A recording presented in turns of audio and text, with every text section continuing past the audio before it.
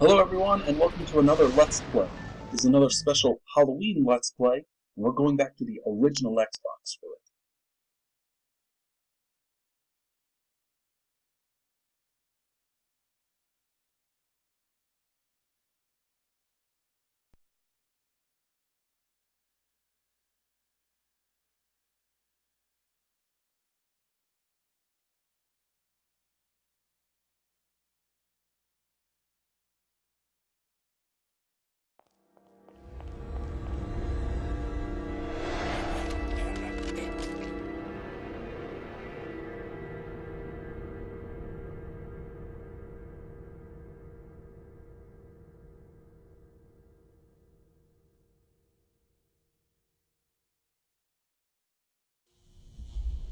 Warning: The following game contains scenes of a disturbing nature.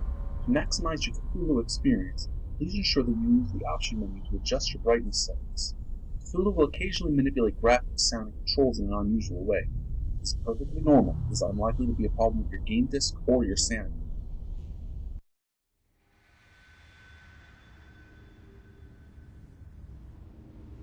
Horror.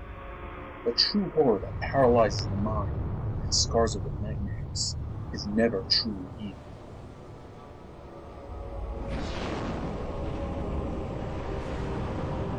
So, welcome to Let's Play Call of Cthulhu Dark Corners of the Earth. I'm sure a lot of you have already figured that out just from the opening video. Now, uh, Call of Cthulhu Dark Corners of the Earth is a 2005 uh, Xbox survival horror game published, no, produced by Head Headmax Studios, something like that. Let me check my uh, box here. Head First Studios, and was published by Bethesda. Now, honestly, I didn't really like this game when I had gone through it the first time, I don't know, something like eight years ago. But I saw that a lot of people are interested in this game and would like to see more of it. And I figured I would try to meet that demand. Now, since I am a believer in full disclosure, I'd like to let you all know that I had tried recording some of this game the other day, got about an hour and a half in before I lost all the audio that I recorded. So I'm going back and replaying what I had done yesterday. Here's a little demo to give you an idea. I've actually, I don't think I've actually ever watched the demo, but this is actually not so bad. This is a chance for us to get a look at it. So, what I'm about to do is replay uh, all the parts that I had played the other day and re-record it. So I'm kind of aware of what's going to happen. So unfortunately, you won't get the, uh, the unaware responses, the first-time reactions that I had recorded previously.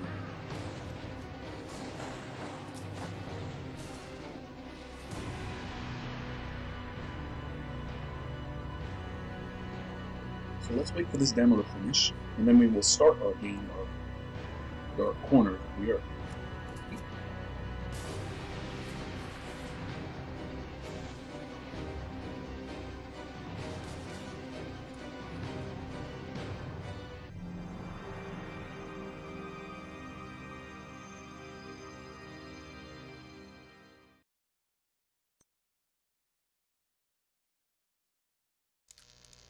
Okay, now if you go down here to load game, you see that just a few days ago I had played it for a while, but since before that, it had been more than eight years since I last touched this.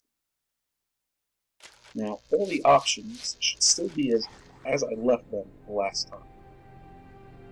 We're using the default control options, where we use the A button to examine and use actions. B to crouch, X to jump, Y to reload. We aim with the left trigger, fire with the right. Reload with the Y. We access our inventory with the black button. We quickly heal with the white button. We can use the right analog stick to look around, and we can press it during sneak mode. We use the left analog stick to move around, the directional pad to cycle through our weapons, and back and start to skip and pause. I also upped the brightness a bit so it's easier for you watching on YouTube to see the game.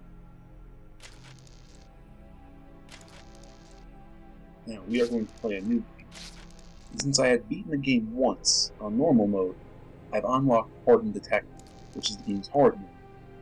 But honestly, uh, I don't want to try this game on hard mode, so we're just going to play on normal mode, so I can give you guys sort of a feel for it. Okay, now these little bits of dialogue here, they go by too fast for me to read them. So I would suggest if you want to read what they say, just pause the, uh, the video and take a look at them. Arkham Asylum, 16th of February, 1922. Now, at my end, I can fully see.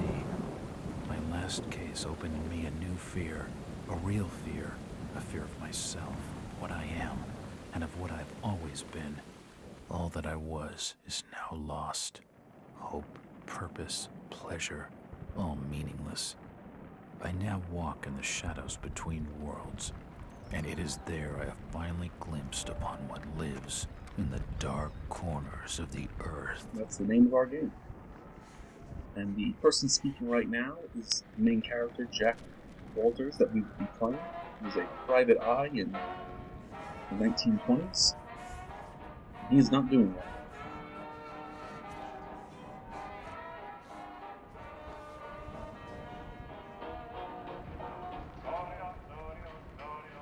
Now, even though this game is called Call of Cthulhu, uh, it's, it doesn't really involve Cthulhu much, or draw much inspiration from the story of Cthulhu. It borrows heavily from a lot of different Lovecraft books, Lovecraft being the author who wrote the Cthulhu story and a number of horror stories in the early 19th century, 20th century. They always get confused. But this game borrows heavily from the story Shadow over Innsmouth but also a little bit from the story Dagon.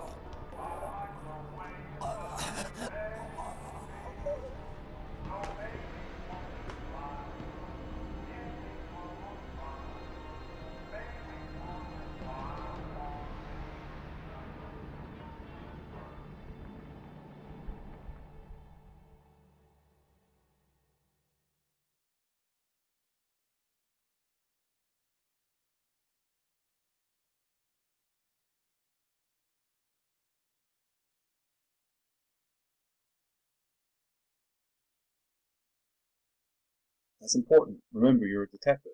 If you're stuck, examine your surroundings for clues.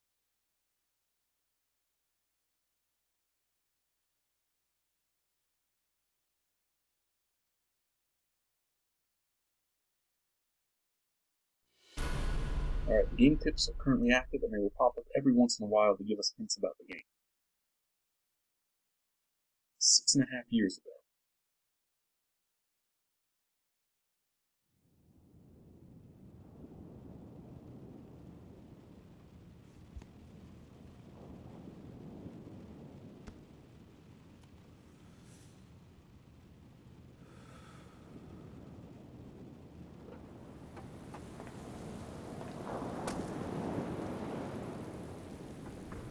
Massachusetts, 16th, the 6th of September, 1915.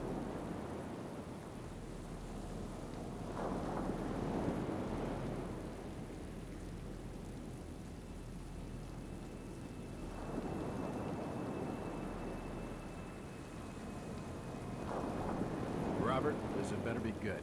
What's the beef? Sorry, Jack. Right, we he's had a to hero. call. This fellow will only talk to you. Name's Victor Holt. Don't know any. Victor. He's the leader of this weird cult that moved in here a few months back. Got about 20 followers. They've been causing trouble all over town. Stealing, going through folks' trash, hanging around outside people's homes at all hours. No one ever presses charges, though. They're a screwy bunch. They've got the locals scared. So tonight, we were just passing, you know, doing the normal rounds, when we heard gunshots fired from their property. Gunshots? Hang on there. No one said anything about gunshots. Who have we got out here? Eh, just me, Nichols, and a few new recruits. Well, that's just great. Lead the way, Robert. I better check out this crazy gang. Okay, so now we are in control of our character Jeff. The game plays pretty much entirely from a first person perspective. You see that there's no heads-up display right now, uh, reflecting our health, our status, our equipment, and that sort of stuff. To do that, we have to go to our inventory. Now, right now, we don't have any equipment. And the only way to tell our health is to look at that electrocardiogram up there at the top, or to actually look at Jack's body to see if he's gotten bruised or beaten up. Now over here, we'll be told how long we've been playing. We don't have any yet, but eventually we will get access to uh, morphine, which will help us uh, overcome pain and trauma that we experienced during the course of the game. I don't remember using it much, if at all, the first time I went through.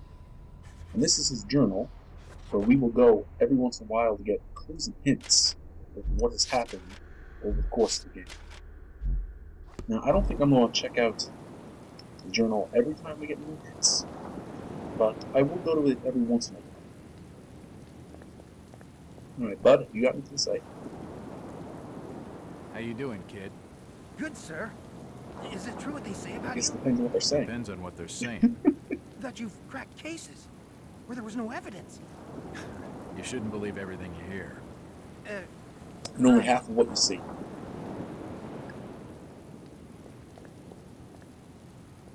Jack, Officer Nichols will brief you at the top. Be careful. You know, kid. Let's take a look. Something must be wrong. No, I'm right here.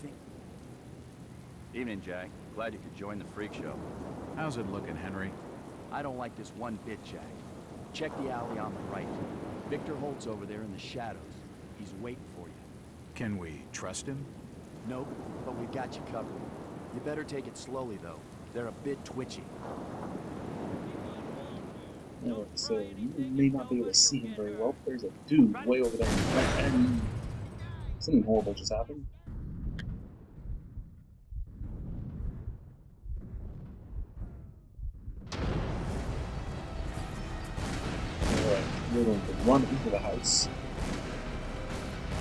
Try to figure out what's going on.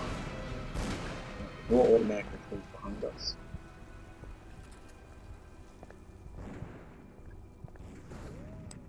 It looks like an eye, but the rest of the painting has no real shape. This blasphemous image makes me feel uneasy. A powerful painting of some cosmic horror.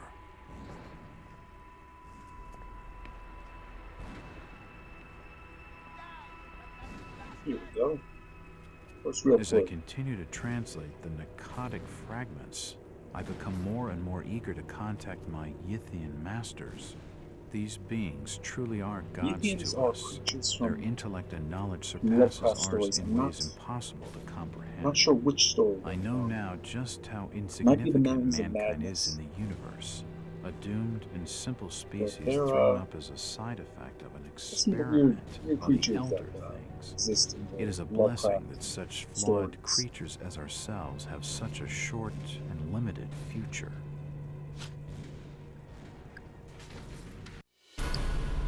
Alright, so we can go back to our journal anytime to look more at that.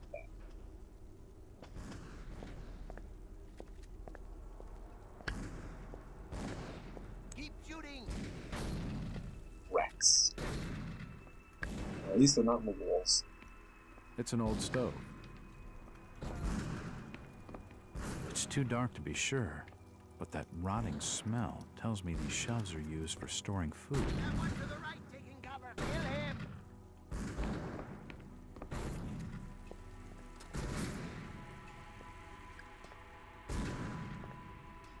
Okay, It looks like an eye, but the rest of the painting has no real shape. A depiction of some alien creature. Yeah, pleasant looking critter, isn't it? Alright, now this is the save point. You're going to see these all over the course of the game. Uh, we don't really need to use it right now, so I'm going to skip saving. In fact, uh, at the end of the game, you're going to be scored. And depending on the level of difficulty you're playing and the number of times you save, you get a better score. I'm not aware if the score affects anything in the game, I don't know if you get a different ending or any, or you unlock anything, but you will get a score at the end of the The game. wood in those on shells how looks rotten. It figures they'd collapse. Okay, this dude is still alive. At last! Was alive. He seemed to recognize me. I don't get it. Around? Empty ammo boxes and spent shells. Nothing useful.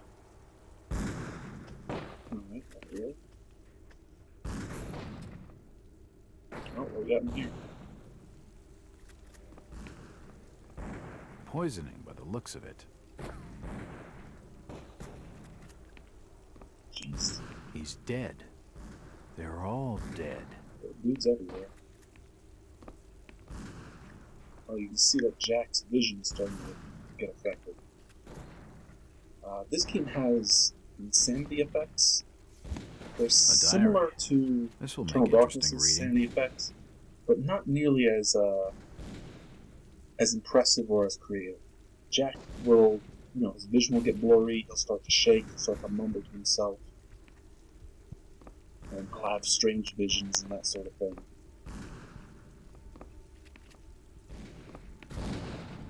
The, the ways to avoid that, or to recover from it, are not to expose yourself to it. And I think you can also do it by studying and breathing, by going in and out of sleep mode like this. Oh, someone else was alive.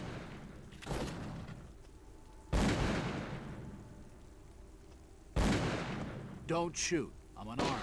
Ah, we've been expecting you, Mr. Wub. Oh, Damn. He recognized me. And it sounded like he was going to get on the level with what's going on in this joint. Damn. yeah, he, got He shot in the recognized me. And it sounded like he was going to get on the level with what's going on in this joint. He's dead. Looks like a bad case of lead poisoning. Oh, we found a key. He's dead. A key. Could come in handy.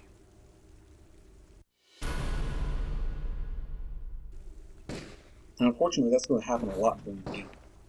It's not going to know exactly where you're looking, and you may end up having to press the button a few times before you get to interact with what you actually want. It's unlocked. Look at this, pictures of him everywhere. I don't understand. I mean, all of these photos. All of them. There must be some kind of mistake. Why would they want me here? It must be an old case. Something I've forgotten. Some screwball with a grudge, maybe. Think. I've gotta think. Might be. See that? That's making him real honest. Another key. All these photos and clippings are of me. I just don't get it. Well, you got some secret admirers,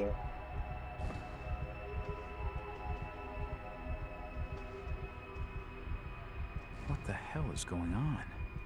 It seems they've been tracking my movements.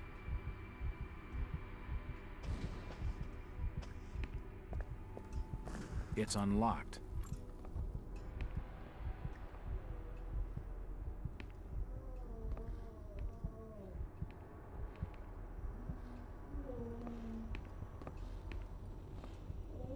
Right? Some beauty here. The drawer holds an ancient manuscript. The symbols on the front seem to be written in classical Greek. There are definitely some strange sounds coming from this side of the room. That's the secret passage.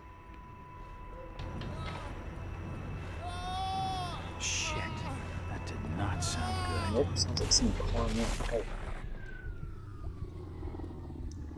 Well, that's just swell.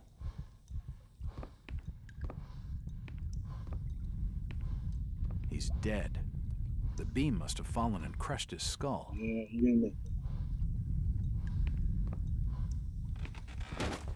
We might not make it either. Medical charts on the human anatomy. From the markings, he must have been one of their own. I wonder if he volunteered. Dead bodies, and plenty of them. let's hope they're dead. Something dreadful has been going on down here. Any of these bodies get up and start moving around, we have no means to defend ourselves. Seems like these cabinets are used for storing chemicals and medical equipment. Okay, what we got down here? Pleasant, huh? Good God! What the hell is all This this? guy's still alive. He's still moving. I've never seen such equipment before. Who could have made such a machine? His internal organs have been removed and spread across the room. This insane contraption looks like it's keeping him alive. Yeah, you can see over here. Looks like his brain. Looks like his brain. I wonder what those wires are for. Yeah. This pipe must drain the waste from his intestines. Guessing some kidneys. Looks like his kidneys. They're moving around in all that liquid. I've never seen equipment like this before. Yeah, you probably never will again, Jack. Question is, what is this button? Oh shit!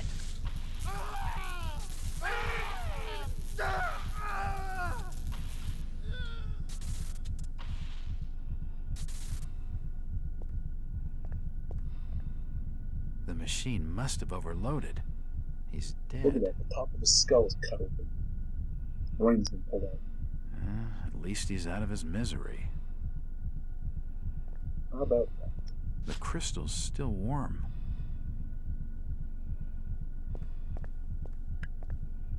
His liver? His stomach Oh, stopped stop. moving. Must be the lungs. His lungs have stopped ventilating. His heart has stopped.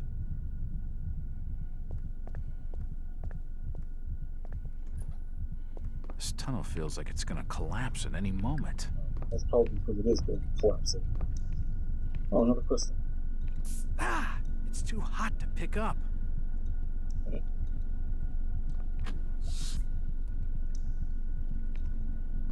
What have we got here?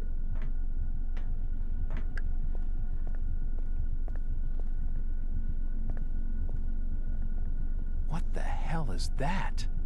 Not sure, Jack. It's a similar shape to the slot upstairs. I bet our crystal perfectly.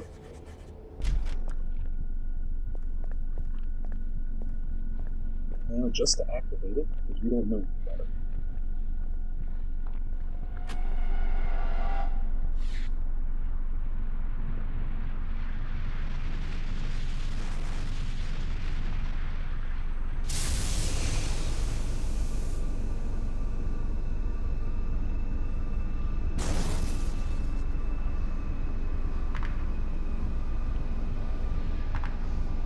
Jack. Jack, look what you did. Look kind of familiar, doesn't it?